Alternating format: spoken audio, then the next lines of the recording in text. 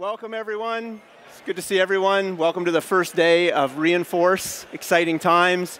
Um, I'm joined here this morning with Fritz from AWS. I am Sandy Bird from Sonrai Security. We're going to spend some time on the most boring topic and title you're ever going to see, identity and permissions concerns to watch out for. After the AWS people edit the slides, they get less risky. So this is what we're going to talk about today. But there'll be some exciting content for everyone as we, as we go through here. Um, kind of as we walk through this, I'm going to show a few examples, and then we're going to talk about some realities of how people live identities are really important. If you, if you watched the keynote this morning, and I hope everyone got a chance to listen to Becky this morning, this concept of zero trust across your AWS infrastructure is really important. And if you do it right, it actually creates a much more secure environment than you ever had when you were working on premise. One of the things I love about cloud four years ago when we started this company was for the first time I actually felt we could build a better spot than where we were with security. Sometimes the implications or the implementation of that are different, but the reality is we're in a great spot here. We all know intruders get in. They get in in lots of ways. Everyone's seen these charts before. Compromised identity, there's a vulnerability in an application, they get in. What gets really interesting is, is that after the intruder is in, whether they're a bad actor, an insider, whatever it is, moving through these cloud accounts is a unique thing in the last five to 10 years that generally our security tools weren't looking for as we were risk profiling these accounts because you have these new concepts of, you know, assuming another identity and then using that identity on your behalf, launching a workload and then using that workload's permissions to do things on your behalf. And so today we're going to spend a lot of time looking at just this part, the securing of the identities and the access of those entitlements inside of the actual cloud infrastructure themselves. Now I'm going to show a little example of how this stuff happens. Um, we're going to start simple. So everybody has some form of workload they're deploying in an account somewhere, so it's a Lambda function or something of that nature. And in that account, you need it to do something, so it's going to assume a role, so it's going to have some permissions, we know that. And you're going to be lazy, and you're just going to give it STS assume role to any resource because you don't really care at that point. Inside that account, there are other people building things as well. So other workloads that you're deploying, possibly those actually trust the account for some reason. So all of a sudden, this thing that you intended to do one thing can assume a different role with different permissions. So it gathers up a set of permissions. Pretty simple, we all know that. Of course, somebody else may be building a workload in another account that uses this account. Maybe this is a scenario where you have a development zone and then a staging zone, and you need to move some data back and forth or whatever it is. You create this trust. So you end up with this identity originally ending up with another identity that has access to through that trust relationship. And of course, more of these things get deployed across your environment, and they do this. This exact example is a SANS webinar. So you can go to SANS, you can look up this interesting webinar, and it explains how this Lambda function sitting in a, you know, in this particular case, this account called Sandbox, ends up getting entitlements or permissions of being able to create a new Lambda function in a production account. It can basically execute that Lambda function it creates, and it can assign any role that happens to have a, a trust back to Lambda in that production account and do whatever they want with it. This is a cute little example. It's nice to see it, but it's not the reality of what your accounts actually look like. Your accounts look a lot more like this. So this is a real customer. The um, numbers of the accounts have been removed to protect the, uh, the innocent in this case. But when you start to look at these ways that these entitlements are granted back and forth, it's not trivial to understand how you can jump from account A to account B to account C inside of account C, gather up more permissions, go from there to count D, E, F, G, H, whatever. And as you're doing this, it explodes. And when you're trying to figure out now how somebody could laterally move or a bad actor could laterally move through your environment, you need to understand all of this. Now, what's interesting is Fritz has spent a lot of time working with AWS customers. So Fritz is a, is a great person to talk about this.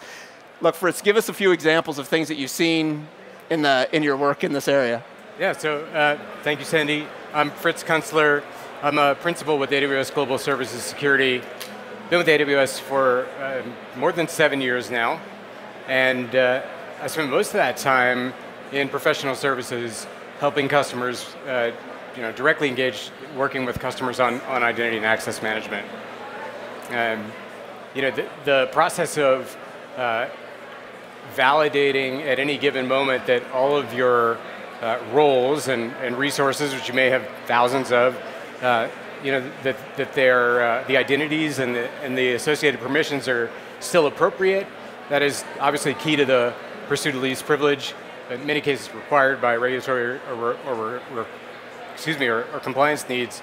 Um, and when you're talking about thousands of roles and resources across many AWS accounts, uh, it, it really is much simpler to, to achieve that with automation. Now, AWS certainly offers capabilities, the building blocks, right? Uh, things like CloudTrail and Service Last Access data, Access Analyzer, credential reports, and more. And uh, uh, in fact, in the past, um, I have worked with some of our biggest customers to take those building blocks along with open source um, tools uh, and develop custom solutions uh, for, for automation to, to address some of the opportunities that, that Sandy's discussing here, here today. Uh, what I've learned from that experience uh, is, is that putting something like that together turns out to be, you, you know, you're, you're building sophisticated software systems that uh, are going to include ETL pipelines and machine learning and analytics and visualization and reporting and, and integration with other enterprise systems. You know, it's, it, it's not, point is, it, it's not like a uh, static system that you throw together in a sort of quick project and then ignore.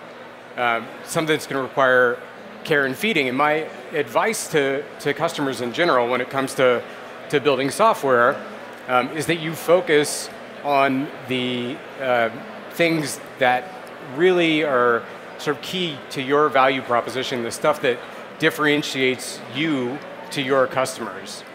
And in this space, that's exactly what Sonrai's been doing since 2017, which is how I ended up here today. Uh, one thing that I really like about their product is, is that it, um, you know, even for large AWS environments, many accounts, it deploys quickly, uh, and um, the uh, required sort of setup or input is, is very minimal. It sort of immediately starts doing its thing, uh, and, and produces really valuable, actionable reporting uh, that's, that ends up um, to be usable by I, I mean, almost all of my customers would find great value in this. Uh, and that's whether you choose to, to, to buy the product or not. You're, you're left with something that you can take uh, and go use to improve your AWS environments now. Uh, and uh, I suspect that Sandy will now tell you a bit more about that. I will. Look, I, and again, I always love to give advice to these, even if you don't engage with us as a company. There's actually something really interesting. You know, as Fritz said, there's this reporting thing. If you take any of these, there's lots of vendors here who'll sell you lots of products. You may have noticed that on the show floor. If you take any of these products, they will find a lot of things that are risky in your AWS accounts. That's what most of them are here to do. However, there's some simple steps you can take that'll actually be quite impactful, even if you're not necessarily running those products 24 7. And so I use this example of unused identities. So one of the simplest things we tell everybody to do in your AWS accounts is good hygiene. Just remove the identities that are not used anymore. Really simple, right? However, we took a middle of the road customer. So when we take you know, hundreds of these samples, what's interesting is you disguise, some customers do have good hygiene, most have terrible hygiene. If you sit somewhere in the middle though, what you'll discover is, is that 25% of the identities in the overall AWS infrastructure, if you have you know, 500 AWS accounts, maybe as many as 25% of the identities are unused in an average customer of ours. That's a really, really high number, right? The next thing you discover is, is that if you then were to take a look at third-party risk, which we're all worried about third-party risk these days, you have the SolarWinds attacks, these types of things. What's interesting is, is by removing these and doing no other work at all, you actually solve you know, 34% of your unused third-party things because you left stuff in the accounts that you're not using anymore. Oh, we trialed that vendor and we never removed their access. We had this great thing that built, you know, infrastructure diagrams. We didn't use it anymore. And it's just sitting around in this AWS service access role that we don't use that AWS service anymore. They're there, they don't get used. And when then you look at the lateral movement, so remember that big graph, if you were to remove these um, unused identities, 27% in this customer, all of those movements would go away too. You want to talk about a way to make you, whoever's doing the Jira stuff in your thing really happy? Think about how many tickets you get to close just by doing this hmm. simple task. Now, here's the thing. Why would you not do this? Everyone's sitting here saying, I could do that. There is a reason why you can't just deploy automation and say, go delete every single thing that is unused in my AWS accounts. And the reason why is that you actually have intended unused identities for things like break glass processes.